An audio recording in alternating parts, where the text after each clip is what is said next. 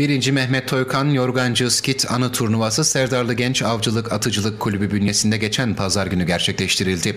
Anı turnuvasında birinciler birincisi 65 vuruş ile Gönyeli Avcılık ve Atıcılık Kulübü sporcusu Mehmet Amcaoğlu oldu.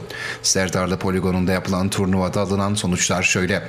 Veteranlar klasmanında 1. Mehmet Mulla Aziz 35 vuruş, 2. İsmail Gürsu 35 vuruş, 3. Salim Erhalk 30 vuruş. Avcılar klasmanında 1. Turgut Boşnak 44 vuruş, 2. Mehmet Mavi Deniz 40 vuruş, 3. Mehmet Taçoy 38 vuruş.